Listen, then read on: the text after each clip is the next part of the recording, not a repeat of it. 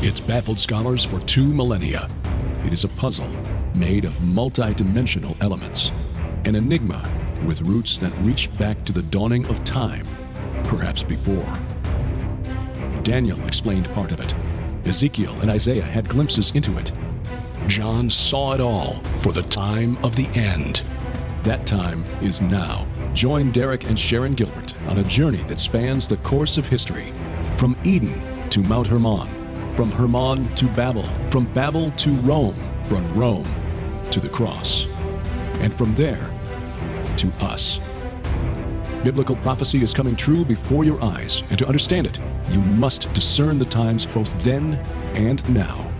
It's time to unravel the threads of this all encompassing prophetic paradox. It's time to unravel Revelation.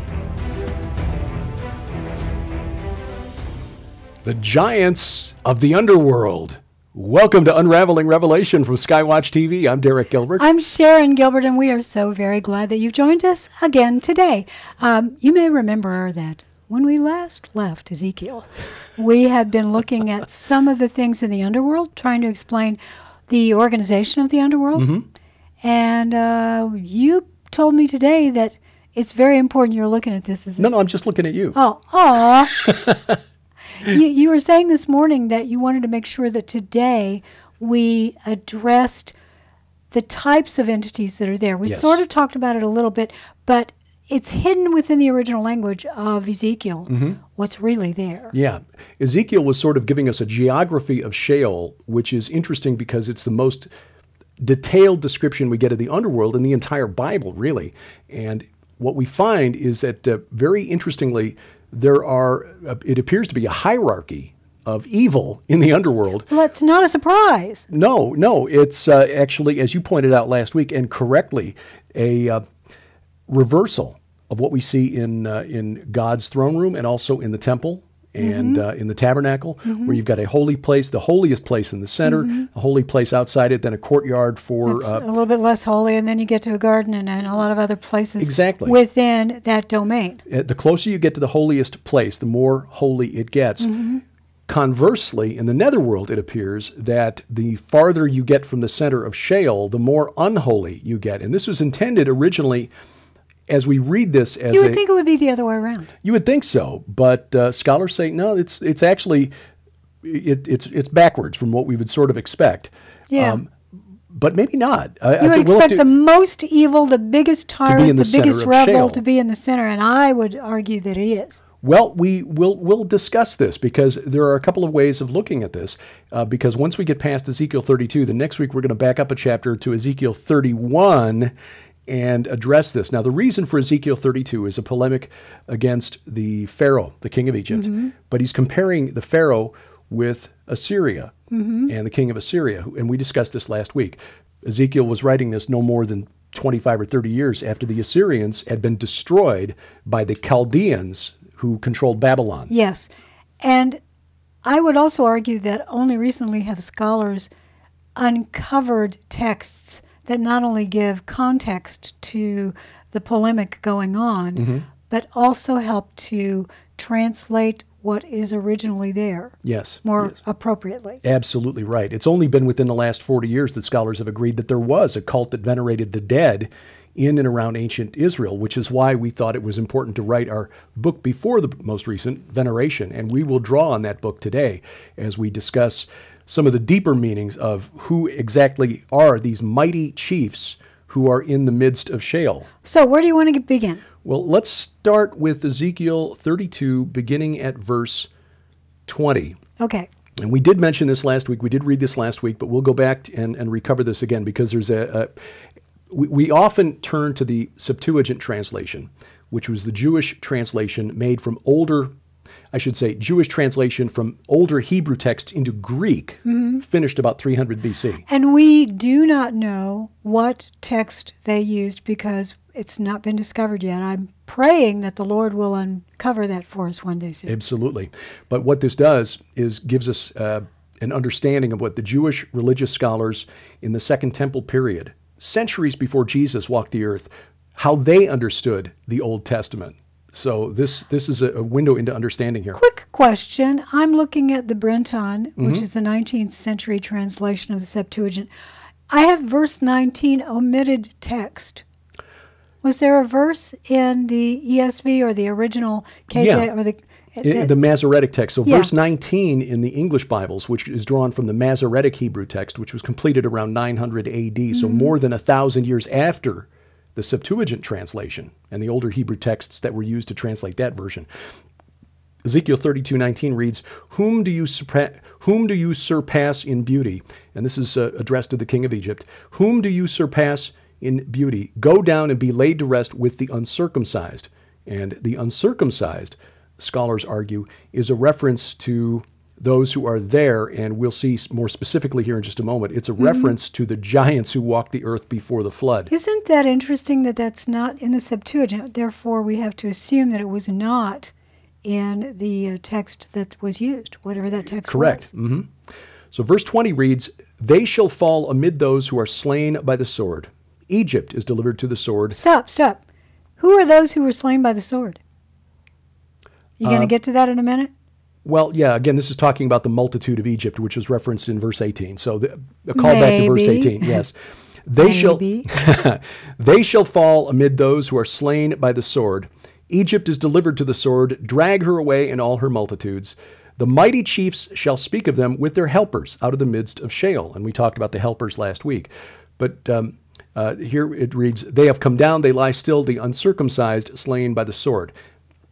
Now, the, the reference here, the mighty chiefs, uh, as we wrote in the book Veneration, the term in Hebrew, Gibborim Eli, can also be translated as the chiefs or the rulers of the Gibborim, the mighty men. And Gibborim is the term that was applied to the Nephilim in Genesis chapter 6. Now, it doesn't necessarily mean Nephilim because it was also applied to David's bodyguard. Are you going to read from the Septuagint? I was going to ask if you would do the honors I in verse 20 because Verse- this is very illuminating. This is the Brenton, which again is free online. Um, and I get it at BibleHub, BibleHub.com. Beginning with verse 20. They shall fall with him in the midst of them that are slain with the sword, and all his strength shall perish. The giants also shall say to thee, Be thou in the depth of the pit? To whom art thou superior? Yea, go down and lie with the uncircumcised in the midst of them that are slain with the sword. That's why I asked in verse 20, Who are those who are slain with the sword? yeah. They're Uh, not necessarily Egyptians. Well, no, because they do actually, Ezekiel does go through and list a number of nations that are in the pit who have been slain by the sword. And they may be spirit beings who at one time had bodies. Yes, exactly. Because we get the words, the giants also shall say to thee. Mm-hmm. and that is uh, similar to the uh, the declaration by the the Rephaim in Isaiah 14 when the rebel from Eden is cast down. How thou art fallen, O Lucifer, son of the morning. Yeah. And uh, now you are weak as we, with worms as your coverings and maggots for a bed. Uh-huh. Hey, But, look uh, at you. You're nothing now. Yeah. But remember, last week we mentioned in Ezekiel 32 18, Son of man, wail over the multitude of Egypt, send them down, her and the daughters of majestic nations. But the word majestic is Adarim, which in a comparable Semitic language, Ugaritic, which is very similar to Hebrew, Yeah. Adarim means noble ones, which was a term that was applied to supernatural beings in the underworld. Yes. So we're dealing. That's the reason we're bringing this up this week Mm-hmm. because this is not necessarily just a polemic against the enemies of Israel. and just so you understand, Physical we're enemies. not seeing giants and spirit beings everywhere. Mm. There are times when it's very clear that the uh, the entities of the, uh, the the beings being discussed Mm-hmm. are humans. But there are other times in the original language when I think it's better to assume that it's a spirit being. of some kind. Exactly. And the reference here to these mighty chiefs in the midst of Sheol suggests that they have pride of place, that they are somehow distinct and fundamentally different from the run of the mill human dead Yeah, I would argue that you are so correct, Right. sir. So this context, of course, is a polemic over Pharaoh, whose lands would soon be overrun by the Chaldean army led by Nebuchadnezzar. Oh yeah. And uh, so for Bible commentators, it's it's uh, on a surface level translation or interpretation, it's correct to say, yes, this is a prophecy over um, Egypt that mm-hmm. Egypt is suddenly is, and in fact, Egypt was defeated by Nebuchadnezzar at uh, that battle in 606 BC, where yes. the Assyrians were destroyed. Yes. So um, the Egyptians are described as going down to the pit to lie among the dead of Assyria, but as we see in um, uh, verse 22, Assyria is there and all her company. Notice the feminine pronoun there, which is how nations were referred to in the collective. Well, except it's his. In the Septuagint. In oh. the Septuagint. Septuagint says, There are Ashur and all his company. You're right. All his slain have been laid there. That's really interesting because ah. that is a ah. fundamental difference between the uh, Masoretic. The Masoretic Hebrew text uses the feminine pronoun, mm-hmm. which is how nations were referred to in, in the collective, the mm-hmm. way we would refer to a ship as a with a feminine pronoun in yeah. English. But a singular. The, the, reason this is really interesting and why we're going back to Ezekiel 31 next week, Asher was the name of the chief god of the Assyrians. And he was identical, identified with, and equivalent to, I mean, same deity, different name, as Enlil, chief god of the Sumerians, Dagon, chief god of the Amorites who lived along the Euphrates River, and El, chief god of the Canaanites. He was mm-hmm. all the same god. And then later called Kronos and Saturn by the Greeks and Romans. Yes. So this is why, yeah, this yeah, if is you're confused about that, Derek's writing a new book that will come out later this year that's all about that. Yeah, yeah. They just use different masks to different cultures. So, yes, that is really interesting. So, Asher is there and all his company. Mm-hmm. Yeah, one, one, puppet master with mm-hmm. different finger puppets. Um, and all his company in the Septuagint its graves all around it, all of them slain, fallen by the sword, whose graves are set in the uttermost parts of the pit. Mm-hmm. So, contrary to these mighty chiefs, the Assyrians or Asher, mm-hmm.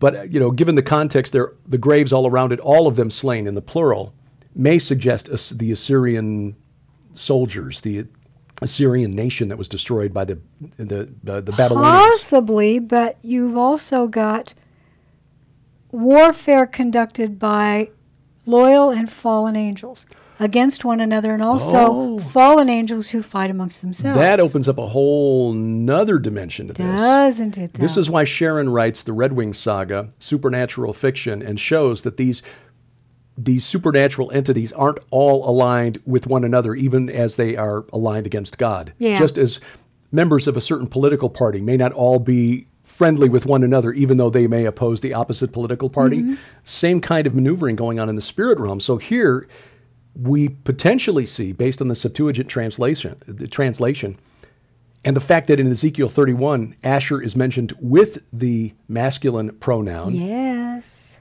Uh, we could see here a depiction of a war between the fallen, the chief god of Babylon, uh-huh. against the chief god of Marduk versus Asher in a yes, sense. Yes, yes. What is uh, your verse 24? Verse 24 Elam is there, and all her multitude around her grave, all of them slain. This says, There is Elam, and all his host round about his tomb. That's right. It's, and i have got a newer translation of the Septuagint, but again, it's the masculine pronoun. Mm-hmm. And I would argue that I've not done any research on this, so um, forgive me for not explaining further, but I would argue that if Ashur is an entity, that Elam is as well. The Prince of Persia. Mm-hmm. Yeah. Yep. Mm-hmm. The, the point here regarding these uncircumcised nations in the underworld, and, and all of these nations uh, that are mentioned, Elam, Meshech, Tubal, Edom, uh, the Sidonians or mm-hmm. the Phoenicians, and the princes of the north. That yeah. uh, all of those essentially show up in Ezekiel 38 and 39 as part of the uh, coalition from the north in the exactly. war of Gog and Magog. And, and, by the way, I don't think this has happened yet. If these are talking about spirit entities, because the prince of Persia is still in this it's world, still around. Yes. Um, hmm. Hmm. Now Ezekiel does say in Ezekiel 32 that uh, these are already in Sheol mm-hmm. and will greet the Pharaoh of Egypt upon his arrival in the netherworld. But this is what's what, what's interesting here, with going back to uh, the uh, Assyrians or to Asher, mm-hmm. uh, whose graves are set in the uttermost part of the pit, and her company is all around her grave, or his company is all around his grave. What verse are you on? That's verse 23. Fallen by the sword, who spread terror in the land of the living. Now, this word terror uh, in English doesn't really capture the Hebrew sense of the word. In, in and I'm going to mangle this, the Hebrew pronunciation. It's Chittith, I think, C H I T T I Y T H, Chittith. In the Hebrew mind, that conveyed a supernatural fear, like panic, of the sort you would feel when you saw a ghost Yes. or a demon. Yes. And that's what is confronted here. They spread that kind of terror. Asher, if we're talking about this supernatural entity called El or Enlil or Dagon, who in the book that I'm working on, I will equate with the chief of the watchers who descended to Mount Hermon, Genesis chapter 6, verses 1 through 4, the sons of God who saw that the daughters of men were fair and created the Nephilim in the first place. This appears to me, when taken in context with Ezekiel 31, and great catch on the Septuagint pronouns. Well, thank you. Um, by the way, you said a minute ago that these things had already happened. It's really difficult when you get a prophecy that says this has mm-hmm. happened. Um, it's possible that this is not yet mm-hmm. that has not yet happened. And already because but not yet to the of thing. Lord, all things are the same. Mm-hmm. And All time once is you, now. Exactly. It's it's very difficult. So it gets very timey wimey. So don't get bogged down in in the idea that if it says it has happened, that it means it's in our past. Our time stream is different than God's. Yeah. Well, when we come back, I want to Oh, talk about. Uh, time is yeah, it really. Yeah, this is a fascinating topic. But uh, I want to jump down to verse 27 because there, I think we get some confirmation that what we're talking about are spirit beings, Aha. and specifically the Nephilim Ah. of old. So we'll dive into that when unraveling Revelation continues. With the official disclosure of UFOs moving full steam ahead, very few will be prepared for what is coming. The answers are now available in Josh Peck's groundbreaking new Skywatch Films documentary DVD, over 10 years in the making, entitled The Great Delusion The Second Coming of Earth's Oldest Enemy, along with Dr. Thomas Horn's documentary style expose on DVD, Rome and the Star God, and the late Cris Putnam's Vatican presentation on DVD, Astrobiology and the Vatican ET Connection. Josh Peck's new documentary, The Great Delusion, reveals for the first time why the Vatican is in possession of a telescope named the Lucifer device, why the ancient and mysterious Anasazi suddenly disappeared from the historic record, how alien abductions might be connected to the sixth chapter of the book of Genesis, whether there is a secret alien human hybridization program being conducted on Earth right now. If there is a connection between aliens and supernatural entities such as demons and fallen angels, and what we can do to prepare for what's ahead. You'll also see stunning reports on the UFO phenomenon by Dr. Thomas Horn, Josh Peck, L.A. Marzulli, Timothy Alberino, Nick Pope, Cris Putnam, Chuck Missler, and many more. You'll also receive Dr. Thomas Horn's documentary style expose, Rome and the Star God, on DVD. Join Dr. Horn for this incredible expose on how the Vatican is not only willing to accept our alien brothers with open arms, but are actually enabling the arrival of the end time star god, the Antichrist. But that's not all. We're also including the late Cris Putnam's shocking presentation entitled Astrobiology and the Vatican ET Connection on DVD, detailing the Vatican's plans to baptize aliens upon their arrival and how contemporary societies will soon look to the aliens to be the saviors of humankind. Sold separately, these items have a retail value of $75. Yours now for your donation of only $35 plus shipping and handling while supplies last. Prepare for full disclosure with the Great Delusion special offer. Available now at SkywatchTVStore.com. Order now or call 1 844 750 4985. Welcome back to Unraveling Revelation from Skywatch TV. I'm Derek Gilbert. I'm Sharon Gilbert. I've got my coffee Mm. hot. Uh, we want to invite you to join us this year, 2021, in Israel. Mm. And we're going to go to Jordan as the extension. So it's October of 2021. You can go to skywatchinisrael.com for all of the details. It will take you to the Aaron Lipkin tour page. You'll see the prices there, when we leave, when we come back. Well, you can, you know, arrange your own airfare if you want, or you can have him do it. We always just let him do it. He uh, he gets the best deals. So if you want to go, go to skywatchingisrael.com and see what you have to do to sign Yes. up. By the way, we still don't know if they're going to require vaccination. Um, we're not inclined to want to go that route, but um, we'll give you more information as it comes along. And Aaron is he's talking to us every week. Right, right. This is uh, very important, obviously, to him because it affects his livelihood. So he's paying very close attention to it. He and as we know more, we will pass it along to him. Oh you. yeah, and he's coming to visit this summer, so we're hoping to see him then. Yes. And when we go to Israel, we'll see some of these sites. We can say, okay, the prophecy of Yes. Ezekiel 38 and 39 will be fulfilled down there. Oh, And yeah. Psalm 68, that's up there. It's an Yeah. entirely different tour of Israel. We'll see many of the, the sites that the other tours go on, but we'll go to places that nobody else goes to. Absolutely. Well, verse 27, um, and, and I know that we're just doing a thumbnail sketch. We have to continue chapter. next week. Yeah, we, we do. And uh, again, I want to get back to Ezekiel 31 because I think that sort of cements this whole idea as part of a whole. And then from there, we can show you why this is relevant to Revelation 9. Um, verse 27, Ezekiel 32, and they do not lie with the mighty. This is the ESV translation now. The fallen from among the uncircumcised who went down to Sheol with their weapons of war, whose swords were laid under their heads, and whose iniquities are upon their bones. For the terror of the mighty men was in the land of the living. Now, here's the reason this is so fascinating. There This are, is entirely different, by the way. y- yes. Well, let's go ahead and read the Septuagint then. And they laid with the, the 27? Uh, yes. And they, they are laid with the giants that fell of old, who went down to Hades with their weapons of war, and they laid their swords under their heads, but their iniquities were upon their bones, because they terrified all men during their life. Mm-hmm.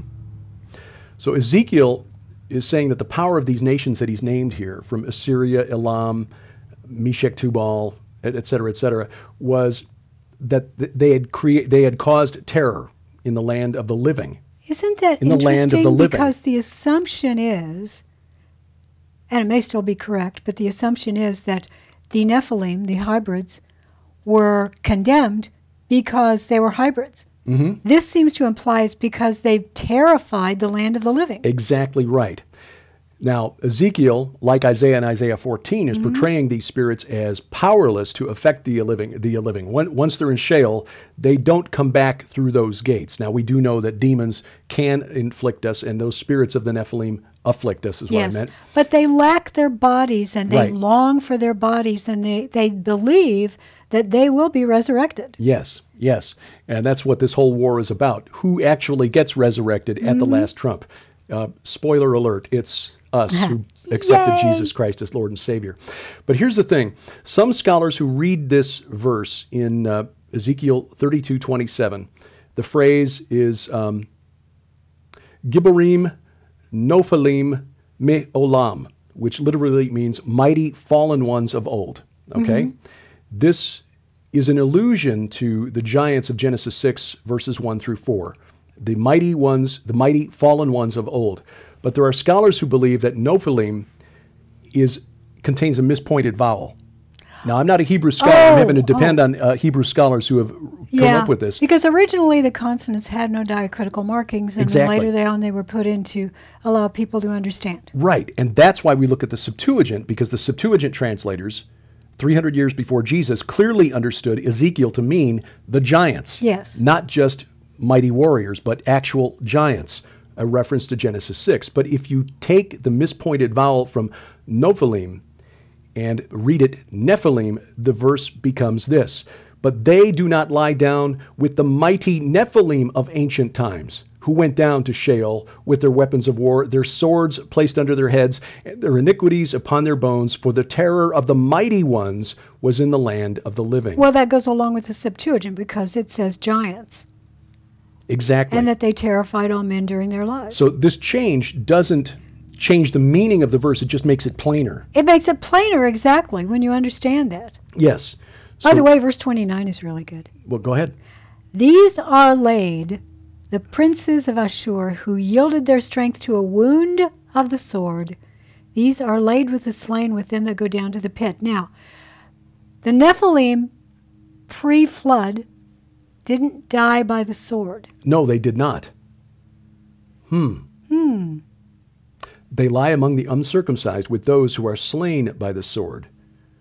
So all of these nations that are mentioned here were antagonistic toward Israel, at least to a degree. Oh, yeah. Uh, um, Elam, not so much, but these uh, these the others. nations, uh, well, Elam, in a way, because we're going to see that in the end times, Elam joins in Iran, Right, Persia. right, right. Um, yeah, and that, that was my point. Was that historically speaking, Elam was one of the farther removed nations, and not, but Right, right, but the assumption is all of this is past. Right, What when if this has this- not yet all been fulfilled? Exactly, and I had not thought of that before Ah. today. So, yeah, but clearly what Ezekiel is describing here in Ezekiel 32, and next week we'll go back to Ezekiel 31, and we'll make the case that uh, Assyria, which is the same Hebrew word as Asher, the chief god of Assyria, uh, have been conflated, and that what we see when we look at those chapters, these two chapters together, is Ezekiel saying this God, who was the chief god of the pantheon of the Assyrians, is now in the netherworld. Mm-hmm. And that he's joined by all of these uncircumcised nations that have dared to raise their sword against the people that God chose as his own. And center of Sheol, in the midst of all this, mm-hmm. are the mighty fallen or the mighty Nephilim of old who are in the netherworld. Can I just say that if we can get our kids involved in this kind of study, that we can excite them about the Old Testament. Many kids will go ahead and read the New Testament. The Old Testament is boring. Mm-hmm. It's boring to a lot of adults. This is so much better than DC Comics or Marvel Comics or any graphic novel or any great movie that they've watched. We love The Lord of the Rings, but it's The Lord of the Rings on steroids Because this is real. Because this is real. And when you help your kids and grandkids to understand what's really being discussed here, I think you're going to find their eyes getting really wide and getting all excited about it. Oh, absolutely. Oh, mom, grandma, can you tell me more? Absolutely. And then and then take them to Job 41 and have them read the description of Leviathan, which is a dragon. A dragon. And by the way, they need to read your book, uh, Iron Dragons. oh, It is so good if you've got a young reader. Uh, what would you say the lower age around? 12, 11? oh, maybe even 10. Yeah. Because I, I try to leave out anything. It's very family friendly, Yeah. exactly, but it's exciting. Yeah. Well, thank you. You're, you're You know, welcome. Well, yeah, and you're right. The, the Bible, when we properly understand it, is the Lord of the Rings on steroids, Mm-hmm. which is why our most recent book is called Giants, Gods, and Dragons, because they're all in here when we understand it. Mm-hmm. And that's why when we bring out the Septuagint, it's to show that the Jewish scholars in the centuries before Jesus and the apostles walked the earth understood this. It's just we have lost it from our understanding because we have translated it out and we've got a, an anti supernatural bias in the church that we need to overcome. We do, and I think that sadly the pastors have let us down, and it's not their fault necessarily because they're trained. They're how they're trained, trained. that way, exactly. Yeah. So retrain your pastor. Yeah. Well, next week we'll talk about who exactly is Asher and why was Asher sent to the underworld and covered over with the deep. Oh, I know this is going to be good stuff. So stay tuned. Hmm. This is Unraveling Revelation from Skywatch TV.